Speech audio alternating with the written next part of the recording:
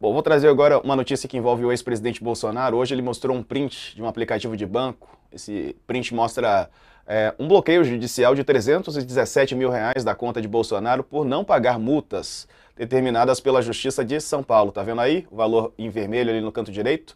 R$ 317.047,52. Saldo disponível 0000. Esse print foi divulgado pela CNN Brasil. O Tribunal de Justiça do Estado de São Paulo determinou hoje esse bloqueio aí novo de 370 mil reais das contas de Bolsonaro. Ontem, a mesma corte já havia exigido a retenção de 87 mil reais do ex-presidente a gente mostrou no nosso site, no UOL, essa informação ainda ontem. Bolsonaro falou, e falou em tom de brincadeira, deu risada, que poderia fazer o pagamento por fora. Valdemar, falando sobre o presidente do partido dele, o PL, falou o seguinte: por enquanto tem um fundo, daqui a pouco não vou ter mais. Vou ver se Valdemar me paga por fora, salário retido. Ele disse dando risada aí Bolsonaro, mas enfim, consequências das ações judiciais que enfrenta o ex-presidente. Sakamoto. Olha, o Diego, eu estava até vendo aqui, né? Eu acho que eu posso estar enganado, mas acho que o aplicativo do presidente é o, é o aplicativo do Banco do Brasil, né? Então, tá a taxa de juros do cheque especial de 7,71% ao mês.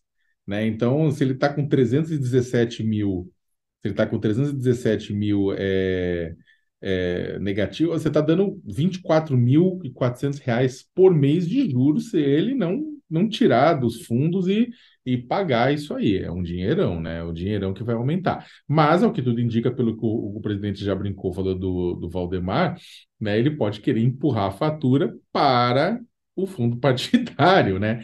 Que, em última instância, significa é dinheiro meu, é dinheiro seu, é dinheiro nosso, né? Porque é dinheiro público. Eu preciso até tenho dúvida se o fundo partidário poderia ser usado para esse tipo de pagamento, assim. Né? Eu tenho, tenho minhas dúvidas, eu mesmo se a própria é, justiça autorizaria isso. Mas o fato é que, essa, ao brincar com isso, o presidente Jair Bolsonaro está brincando com jogar e empurrar a fatura para o coletivo, né? E vamos lembrar que, que muitas dessas multas tinham a ver com o desrespeito ao comportamento, às restrições né, de distanciamento, de uso de máscara, tudo, durante a pandemia, né, no estado de São Paulo. Aí foi cobrada essa fatura.